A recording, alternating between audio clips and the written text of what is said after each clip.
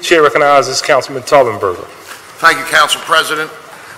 In this morning's uh, Wall Street Journal and also in many other periodicals uh, throughout the country, there is a protest today on having a day without immigrants. It is also a protest of immigrant policy that probably goes back many years.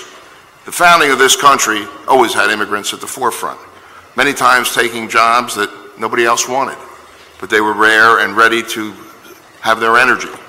Also, many times defending this very country, the institutions, the, the sense of democracy. Thousands of immigrants died during the Civil War and any war that America was ever a participant in. That's the ultimate sacrifice so this country can live.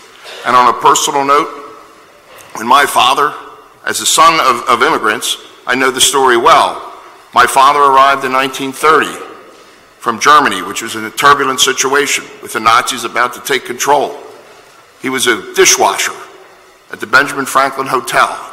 He served there and he worked his way up and ultimately became head chef at the Germantown Cricket Club. My cousin Heinz Taubenberger was a literally a refugee from Germany.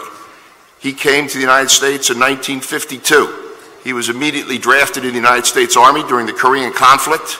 He served with distinction for over 25 years with two terms in Vietnam. He ended as a, as a major.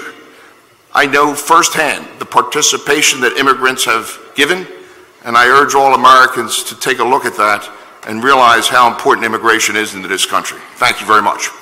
Thank you, Councilman.